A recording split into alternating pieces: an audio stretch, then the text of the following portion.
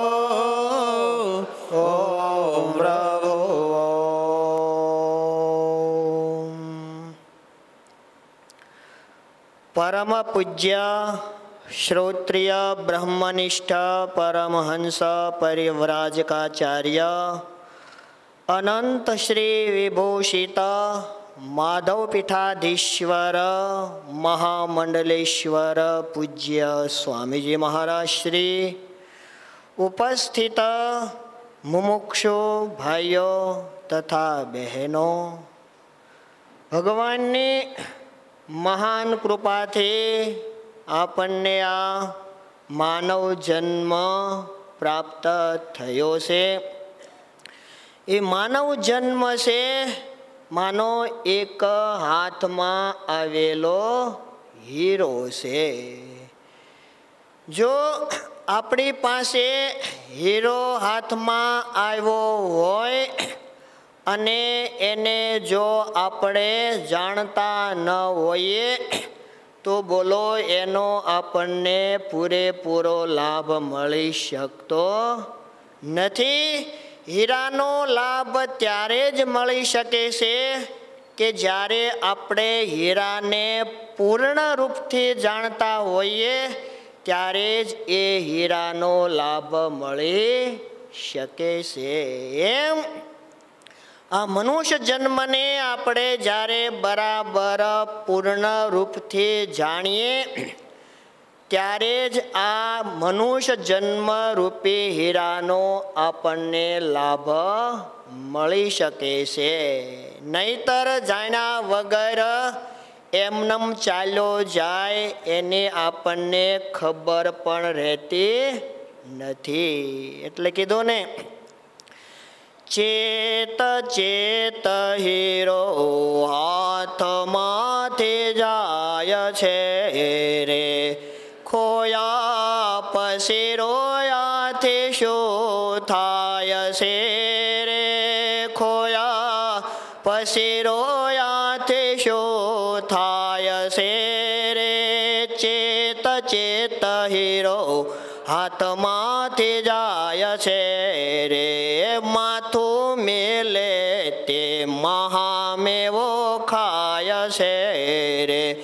સંતો કહે હું ઘણશે રહી જાય છે રે સંતો કહે હું ઘણશે રહી જાય છે રે ચેત ચેત હીરો હાથમાંથી જાય છે રે તો હંમેશા આ મનુષ્ય જન્મનો બરાબર મનુષ્ય વિચાર કરવો જોઈએ મનુષ્ય જન્મની અંદર બરાબર વિચાર ક્યારે જ કરો કહેવાય કે જ્યારે પોતાના સ્વરૂપનો વિચાર કરે ત્યારે બોલો સંસારમાં તો દુનિયાભરના વિચારો તો મનુષ્ય આખો દિવસ, બોલો ઘડીકે પણ મનને નવરો રહેવા દેતા નથી. સૂતા લગી એ મનુષ્ય હંમેશા સંસારના તો વિચાર કર્યા જ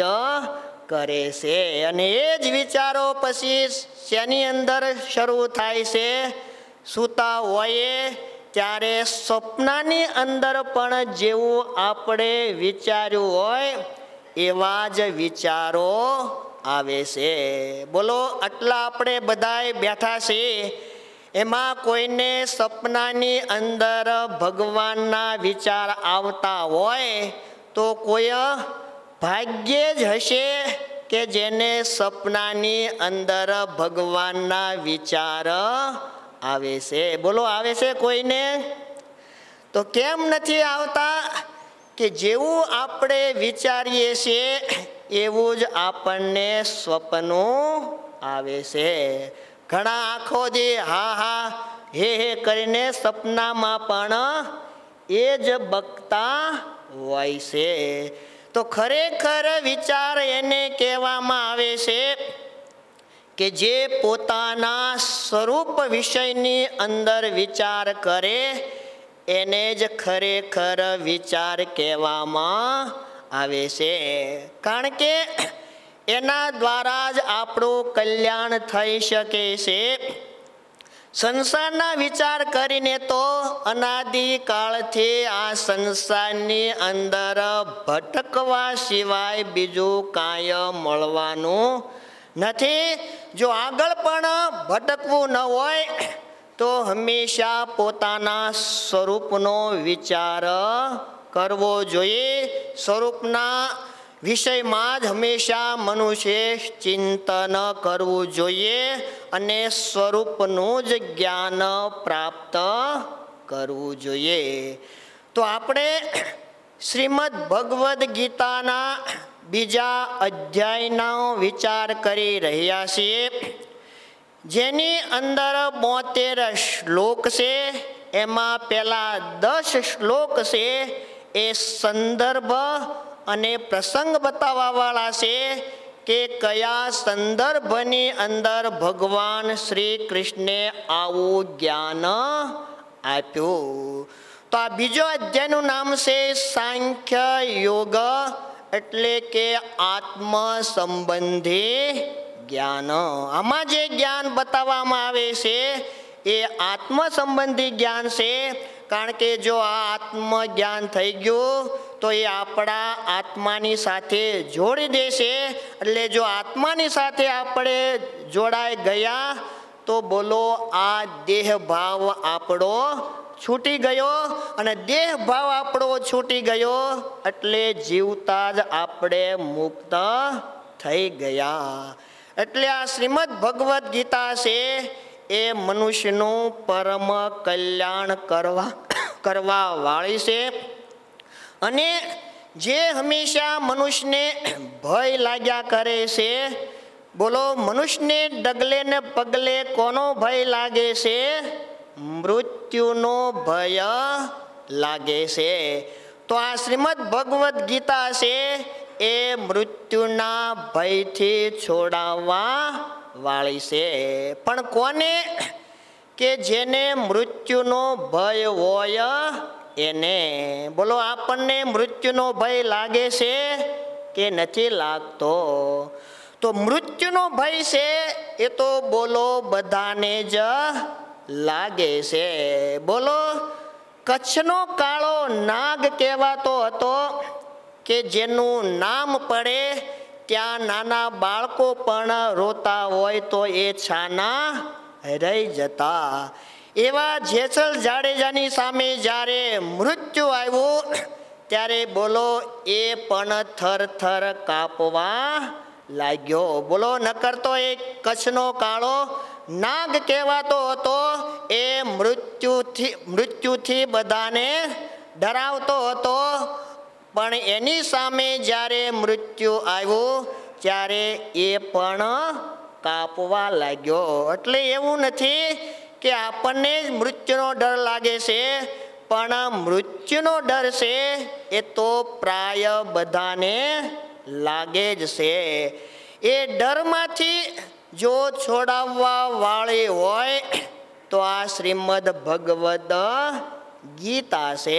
એનું બરાબર જો આપણે મનન કરી લીધું, જે આ બીજા અધ્યાયની અંદર ભગવાન જે જ્ઞાન બતાવે છે એ જ્ઞાન જો આપણી અંદર આવી ગયું અને એના બરાબર આપણે બની ગયા, તો આપણને પછી ક્યારે મૃત્યુનો ભય લાગતો નથી. હંમેશા આપણે નિર્ભય બની જઈએ છીએ. એટલે આ શ્રીમદ ભગવદ્ ગીતાના બીજા અધ્યાય ઉપર આપણે વિચાર કરી રહ્યા છીએ. એમાં આઠમા શ્લોકની અંદર બતાવ્યું નહીં પ્રપશ્યામિમા પનુદ્યાદ યચ્છોકમુચ્છો ષણમિન્દ્રિયાણામ અવાપ્ય ભૂમા વસ પત્ન મૃદ્દમ રાજ્યમ સુરાણામ અપી ચાદે પત્યમ અર્જુન કહે છે કે હે ભગવાન નહીં પ્રપશ્યામિમા પુનોદ્યાદ કે મને આ મારા જે શોક અને મોહ છે એના અપનોદનનું કોઈ કારણ બતાતું નથી. અને શોક અને મોહ એવા છે કે ઉત્સોષણ ઇન્દ્રિયાણામ એ મારા ઇન્દ્રિયોના શોષણ કરવા વાળા છે. એટલે કે શોક અને મોહ થાય છે ત્યારે શરીર અને ઇન્દ્રિયોના ગોલક સુકાવા લાગે છે. અવાપ ભૂમા વસપત્ન મૃદ્ધમ હે ભગવાન કદાચ મને નિષ્કંટક રાજ્ય મળી જાય છતાં પણ મારા આ શોક અને મોહ મટે એમ નથી અરે નિષ્કંટક રાજ્ય નહીં પણ સુરો એટલે દેવતાના અધિપતિનું પણ મને મળી જાય દેવતાના અધિપતિપણું પણ મને મળી જાય. છતાં પણ મારા આ શોક અને મોહ એવા છે કે એ કોઈ પણ કારણથી દૂર થઈ શકે એમ નથી. તો આ શું બતાવે છે કે આ લોક અને પરલોકના જે ફળ ભોગ છે એની અંદર આપણે વૈરાગ્ય થવો જોઈએ. ઇહા મૂત્ર, ફલ, ભોગ, વિરાગ. જે ચાર સાધન બતાવ્યા, વિવેક, વૈરાગ્ય, શમદમાદિ, ષડ સંપત્તિ અને મુમુક્ષુતા. એમાં બીજું સાધન છે વૈરાગ્ય. તો વૈરાગ્ય કોને કહેવામાં આવે? કે હા મૂત્ર, ફલ, ભોગ, વિરાગ. એટલે આ લોકના ફળ, ભોગ અને પરલોકના ફળ ભોગની અંદર વિરાગ એટલે વૈરાગ્ય, એને વૈરાગ્ય આ બીજું સાધન કહેવામાં આવે છે. તો આ શું બતાવે છે? કે જ્યાં સુધી આપણને આ ભોગની અંદર વૈરાગ્ય થતો નથી, ત્યાં સુધી જ્ઞાન સંભવ થતું નથી. બોલો આ લોકના સુખ અને પરલોકના કદાચ સુખ મળી જાય, છતાં પણ એના દ્વારા પણ આપણો શોક અને મોહ જે છે એ દૂર થતો નથી. એટલે હંમેશા મનુષ્ય જો જ્ઞાન પ્રાપ્ત કરવું હોય અને પરમાત્માનો પૂર્ણ રૂપથી આનંદ લેવો હોય, પરમાત્મા રૂપ થવું હોય તો આ લોકના ફળ ભોગ છે એમાં પણ હંમેશા વૈરાગ્ય રાખવો જોઈએ અને પરલોકના ફળ ભોગની અંદર પણ હંમેશા વૈરાગ્ય રાખવો જોઈએ. હવે, અત્યાર સુધી જે વાત થઈ, એ વાત છે, એ સંજય છે, એ હસ્તિનાપુરમાં બેઠેલા ધૃતરાષ્ટ્રને બે શ્લોક વડે કરે છે સંજય ઉવાચ એવ મુક્ત્વા ઋષિકેશમ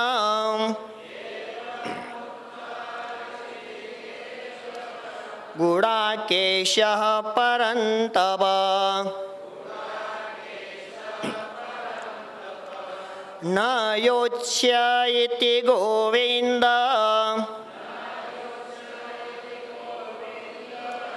मुक्त्वा तूष्णीं बभूवः।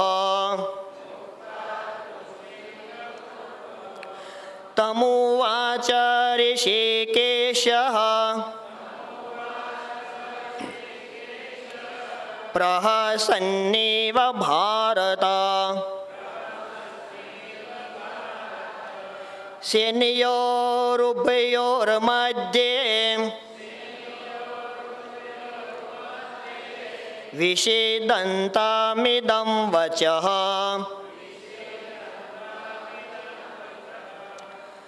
तो धृतराष्ट्र ने संजय से ये हस्तिनापुरमा कहे से कि કે ગુડાકેશ પરંતપ આ અર્જુન માટે છે કે અર્જુને ઋષિકેશમ એટલે ભગવાન શ્રી કૃષ્ણને એવમ ઉક્તવા એટલે આગળ પ્રમાણે કહેલા વચન કહ્યા પછી, ન યોચ્ય કે ભગવાન મારે યુદ્ધ કરવું નથી.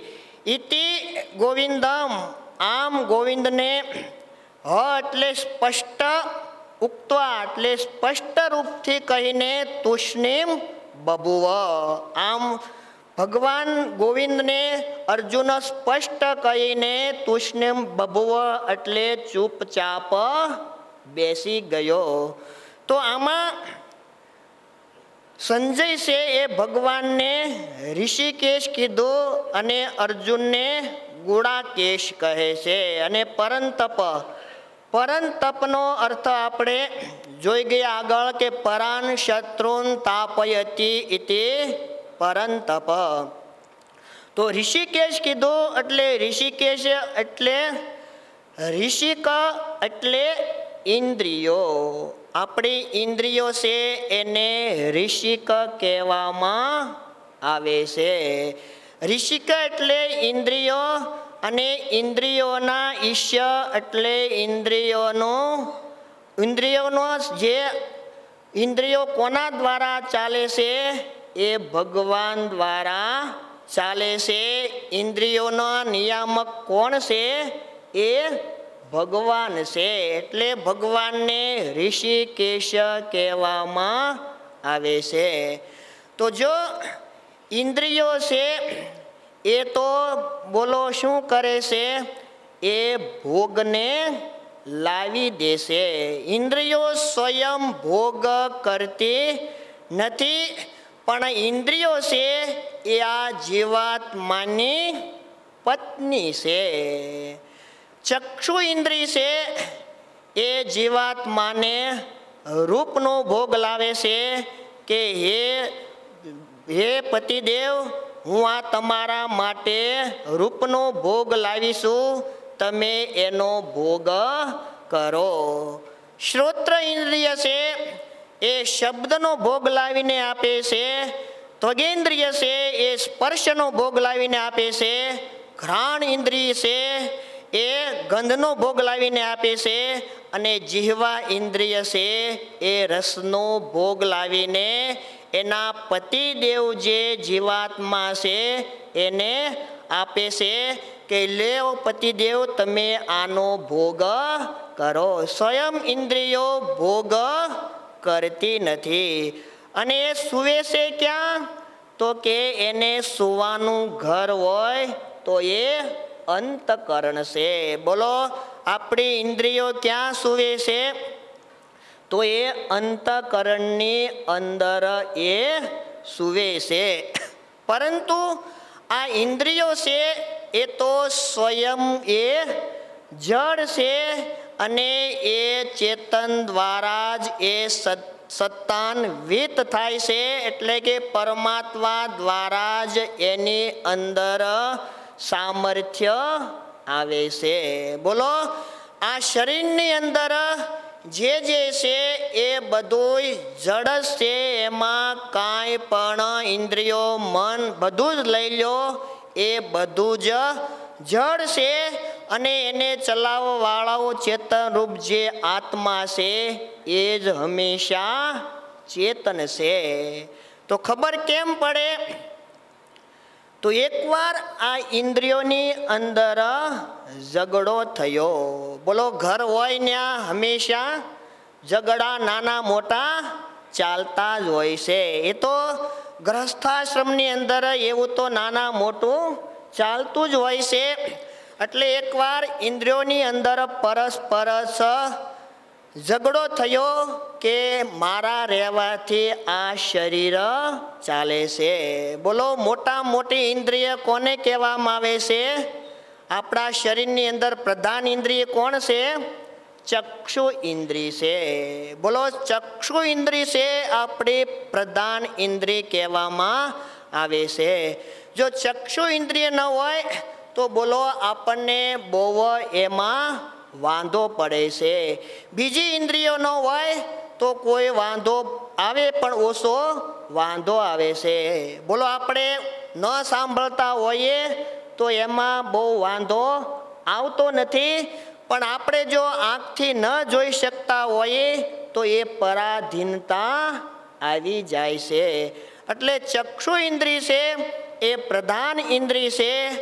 એટલે એ ઝઘડો છો એટલે આ ઝઘડાની વાત કોને પડી ખબર? બ્રહ્માજીને. કારણ કે આ ઇન્દ્રિયોને બનાવવા વાળા કોણ છે? બ્રહ્માજી છે. એને થયો કે આ ઝઘડો થાય એ તો મારે પોષણ થાય નહીં, આનું મારે નિવારણ કરવું જોઈએ. એટલે બ્રહ્માજી આવ્યા અને બધી ઇન્દ્રિયોને કીધું કે ચાલો તમે કહો છો કે આ મારા દ્વારા શરીર આ ચાલે છે? ચક્ષુ ઇન્દ્રિય કહે છે કે આ શરીર મારા દ્વારા ચાલે છે? શ્રોત્ર ઇન્દ્રિય કહે કે નહીં મારા દ્વારા ચાલે છે? સ્પષ્ટ ઇન્દ્રિય કહે છે કે નહીં મારા દ્વારા ચાલે છે? ઘ્રાણ ઇન્દ્રિય કહે કે મારા દ્વારા ચાલે છે? આમ બધી ઇન્દ્રિયો કહેવા લાગી, ત્યારે બ્રહ્માજી કહે છે કે તમે એમ કરો કે જેના રે, નહીં રહેવાથી આ શરીર છે એ જડ થઈ જાય. એના, એને કહેવામાં આવે છે કે આના દ્વારા આ શરીર ચાલે છે. તો ઇન્દ્રિયો કે સારું? તો સૌ પ્રથમ જે ચક્ષુ ઇન્દ્રિય છે એણે કીધું કે ચાલો હું થોડા દિવસ યાત્રા કરીને આવું. બોલો, બધા યાત્રા કરવા જાય છે ને? એટલે ચક્ષુ ઇન્દ્રિય કહેવા લાગી કે હું થોડા દે હરિદ્વારની યાત્રા કરીને આવું. એટલે એણે ગાંઠિયા અને હુખડીના ડબ્બા કર્યા, તૈયાર અને હરિદ્વારની જાત્રા કરવા ચાલી ગઈ. થોડા દિવસ પછી જાત્રા કરીને પાછી આવી. તો બોલો, શરીર તો એમનું એમ હતું. બોલો, કોઈની ચક્ષુ ઇન્દ્રિય ન હોય તો આ શરીર તો એવું ને એવું રહે છે એને થયું કે આ તો મારા નહીં રહેવાથી પણ શરીર તો ચાલે છે. એટલે ચૂપચાપ કોઈને કીધા વગર પોતાના ગોલકની અંદર બેસી ગઈ. આવી રીતે બધી જ ઇન્દ્રિયે વારા ફરતી કોઈએ ઇલ્હાબાદની, તો કોઈએ ગંગા સાગરની બધી જ યાત્રા કરીને ચૂપચાપ બેસી ગયું. કોઈને ખબર પડે નહીં એમ.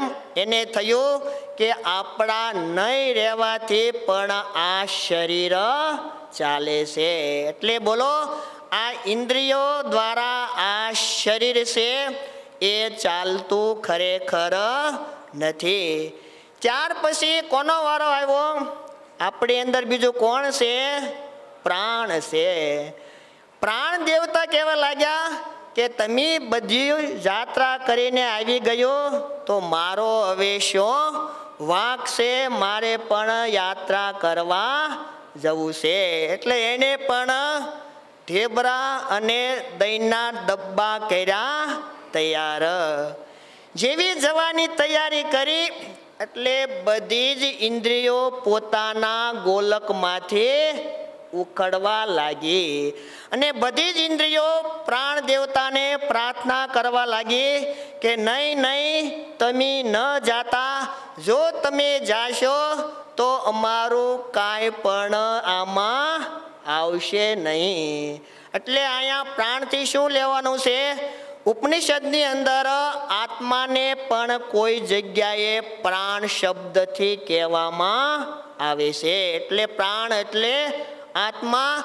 એટલે આ શરીરની અંદર હવે શું નક્કી થયું? કે આપણું શરીર કોના દ્વારા ચાલે છે? અંદર ચેતન તત્વ છે એટલે જ આપણું આ શરીર ચાલે છે.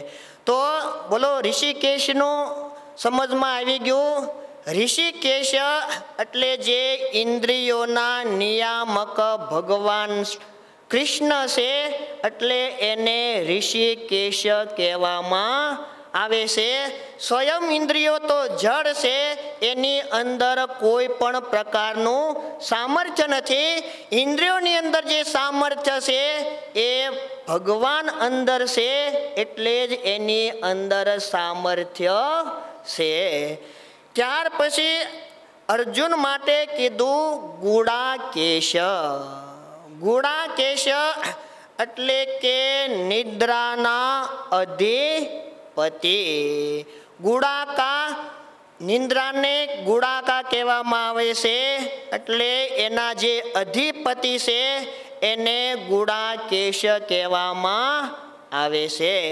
અર્જુન છે એ જ્યારે એની ઈચ્છા થાય ત્યારે સૂવે છે અને ઈચ્છા હોય ત્યારે એ જાગે છે. અને ઘણા દિવસ એ નથી પણ સૂતો. એટલે એને ગુડાકેશ કહેવામાં આવે છે. તો આમાં આ શ્લોકની અંદર સમજાઈ ગયું.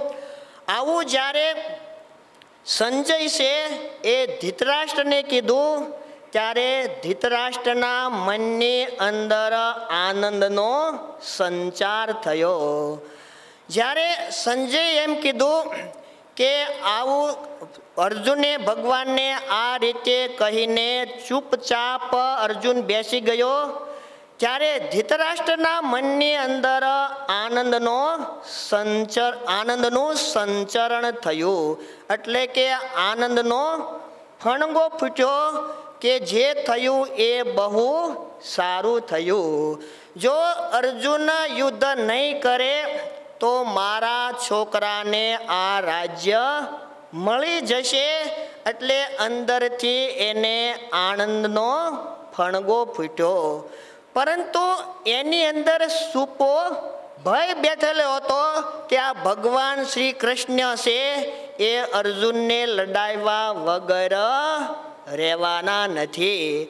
એટલે આવું જાણીને જે ધૃતરાષ્ટ્ર છે, એ સંજયને પૂછે છે કે, સારું, પછી ભગવાને અર્જુનને શું કીધું? તો ભગવાને જે અર્જુનને કીધું, એ દસમા શ્લોકની અંદર બતાવે છે, ભગવાનની કૃપા છે, તો કાલે સાંભળશું.